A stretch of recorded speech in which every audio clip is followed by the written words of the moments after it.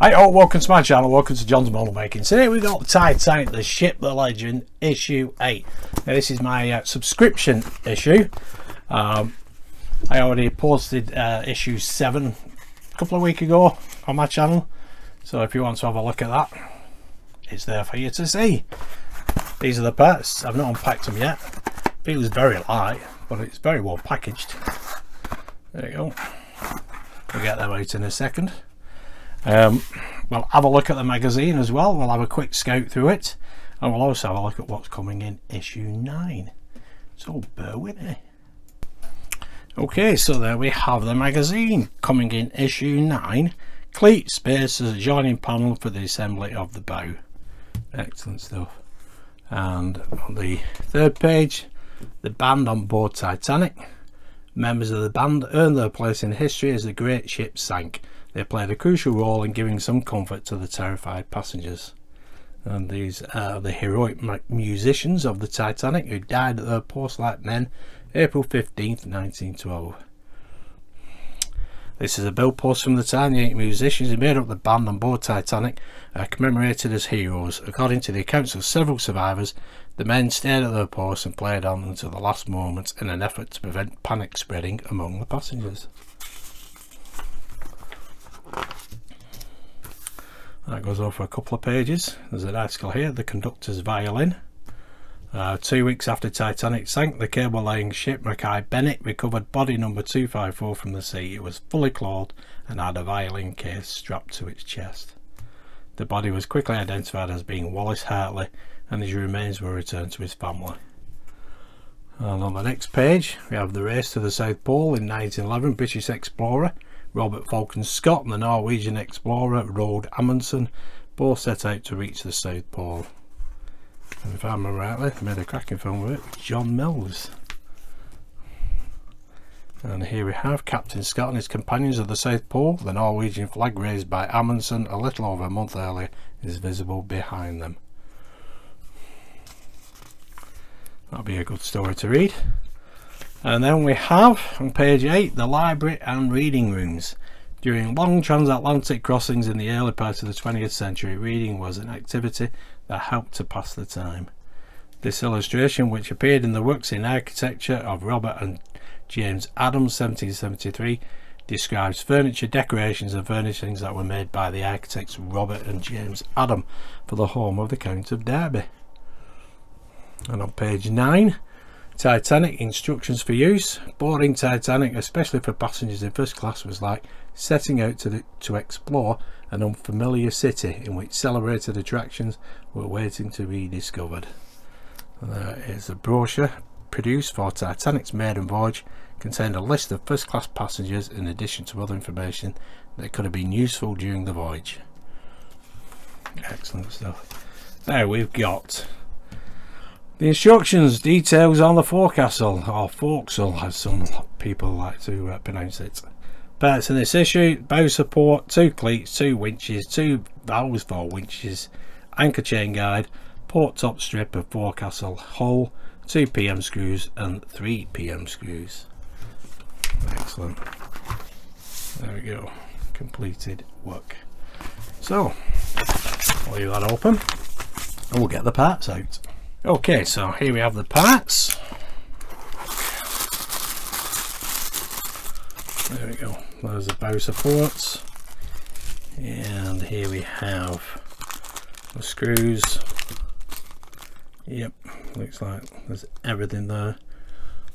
So bow support, cleats, back times two, winches times two, valves for winches times two excellent. Let's get these out. There we go. Those are all plastic. That is nice and metallic. There I can see the holes drilled in it. That looks brilliant. Fantastic stuff. Okay we'll put them to one side. We also need the forecastle from previous. And we have the screws here. Um, BP and CP now I have taken the hatch off. As you can see, I have got a modified hatch, which looks just like that. This is 3D printed. You can see the doors on top of the hatches. I've got to paint that yet.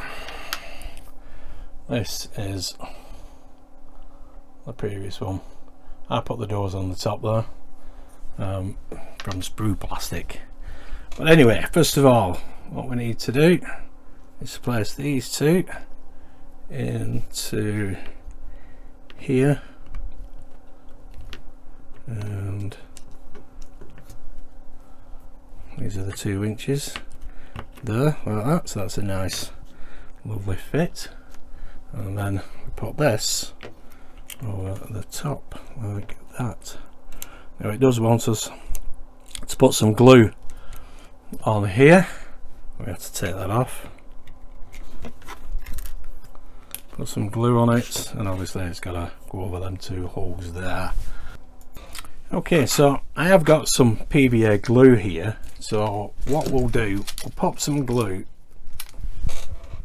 on the end here. Now it wants us to spread these out like that. So we'll fix it in place with some glue and I'll clamp it and then we'll let the glue set then we'll come back to it. So first of all just a tiny bit of glue. Along here. Don't want too much on. This is PVA glue so it'll set clear anyway. And then I can pop that there. And hopefully get that like that. And I shall now get one of my little clamps. All my position like that. And now we need one CP screw in here. So here we have the screw. Just like that. Just check them set. There we are perfect give that a few minutes. Like that set. Okay whilst that's setting we can pop that to one side. Ever so gently. With the glue. And we can move on to step five. And we have the hull section and we can now put this in place. And that goes there there and there like so. Yep. And we need two BP screws.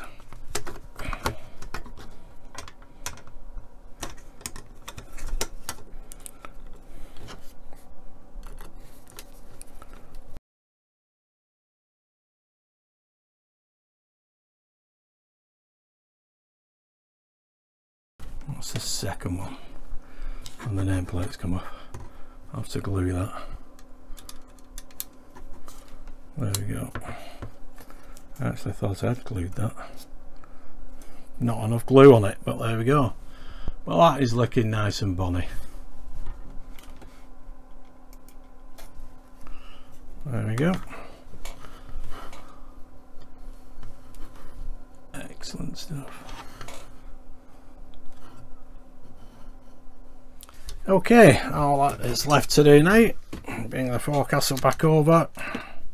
That seems to have set fine, as you can see. It's over the two holes there. All we need to do now is put these cleats and these two valves in place. Right. They look pretty essential. So I can go in there. nice tight fit and this one can go in here like that and these can go in here. So I think we need some tweezers. Let's position this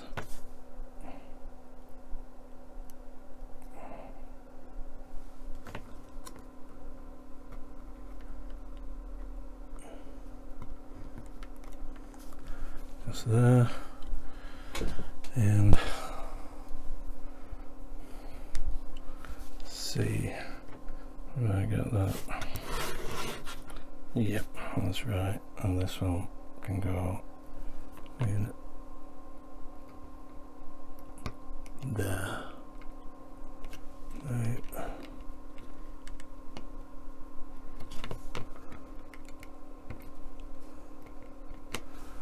There we go. Let's turn them a little bit. And we can now pop on the hatch. If it'll go in. There we go. Excellent. that's how that is looking at the moment. Brilliant stuff. Excellent. Show you my other hatch. That should go in there. There we go. But it does need painting that one. You can see the difference in colour. It's going to be painted the same as these breakwaters. It's a Vallejo white. Excellent, and that's stuck down nicely. Brilliant stuff. So with that and that, that is it for this month. There's a base spot. There we go. Excellent. Lovely jubbly. Excellent stuff. That is issue 8 complete. So we've already had a look at issue 9. Yep, there is another section. Um, cleat spaces and adjoining panel for the assembly of the bow. So we'll put both sides of the bow together. Then we can use this stand. I suppose that's what that's for. Pop it in there or somewhere. it's the bow support anyway. Uh, I have noticed there's an orange band that's missing. I suppose that could easily be put in later to later dates. Um, it would be narrow to be honest, but uh, it, as long as it's in proportion within scale, we're fine. Excellent. Um, it looks as though we could actually lift that and slot it in but uh, maybe that's what will happen because there is a gap between this white section and the black section of the hull just a minute gap so maybe we could fit something pop it in there just press it in place. But we'll wait and see about that. That is excellent that. I'm absolutely loving this build. It's gonna look absolutely fantastic. I know it's gonna be massive um, but uh, yeah um, the support um, sorry the uh, the forecastle deck looks absolutely brilliant now. There we go. And that's set nicely. Bit of PVA glue and a little clamp excellent stuff. Anyway if you did like that give us a big thumbs up subscribe hit that notification bell and I will see you next month. Now according to my account uh, issues 9 10 11 and 12 I think are due to be processed on the 21st of this month. So hopefully I'll get all four issues up at the end of this month together brilliant I hope so anyway. Pete's going to news agents every week. I did try and um, uh, tap up a news agent to see if he could get it from me weekly but he wasn't um, he did say he would get it every week but there was no promises so there's no contract there. Uh, and he did say to me that if you want it till the end you better off subscribing. So I was already subscribed anyway so anyway excellent stuff. Anyway thanks for watching. Stay safe and I'll see you soon. Bye for now Thank you.